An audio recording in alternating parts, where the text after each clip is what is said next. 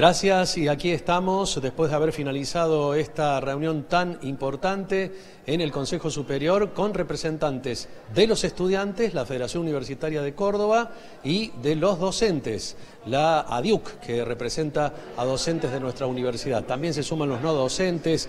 Javier de ADIUC, bueno, el espíritu de esta convocatoria y el sí al financiamiento universitario.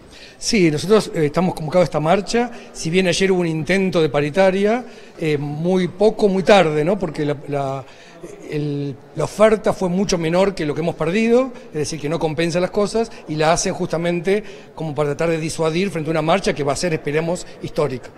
Cecilia, representando a los estudiantes y el espíritu de una convocatoria que quizás sea mayor que la del 23 de abril. Bueno, buenas tardes. Sí, esperemos que sea mayor que la del 23 de abril. Vamos a convocar a toda la comunidad universitaria, a todos los estudiantes, en conjunto con los docentes, no docentes, egresados, porque entendemos que tenemos que defender a la educación pública, tenemos que defender a nuestras universidades, porque las universidades son entes transformadores de la realidad social que no son el problema, sino son la solución a todos estos problemas que estamos atra atravesando. Cuando hablamos de números, ¿tanto afecta el superávit?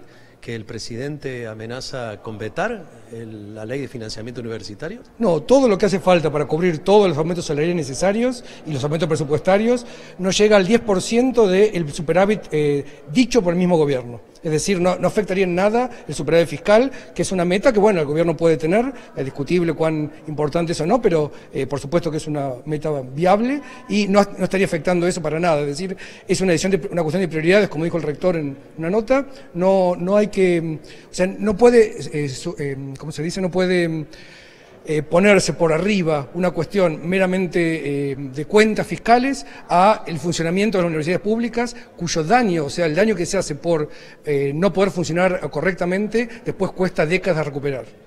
Convoquemos entonces a la marcha del 2 de octubre a la comunidad universitaria, que me imagino, Cecilia, que concurren a la FUC todos los días a preguntar cómo venimos, qué va a pasar con esta universidad.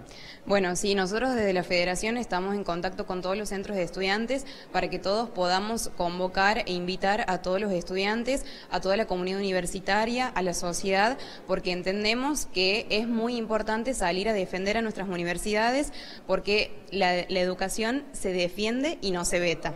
Gracias. Y a los docentes. Y a los docentes, por supuesto, convocamos a todos y todas los docentes eh, y a toda la comunidad. Como, como decía Cecilia, eh, creemos que esta es, la universidad hoy es una causa común de toda la sociedad cordobesa. Es un emblema de Córdoba, es algo que de alguna manera es reconocido como un espacio de crecimiento social, de crecimiento económico mismo, y por lo tanto la defendemos en la calle.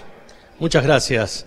Javier con los docentes, Cecilia con los estudiantes y toda la comunidad, los no docentes, las autoridades universitarias, decanas y decanos y el propio rectorado de la Universidad Nacional de Córdoba trabajando mancomunadamente en esta convocatoria para decir que hay que decir que sí al financiamiento universitario y para evitar el veto de esta ley que justamente aprobó el Congreso, diputados y senadores.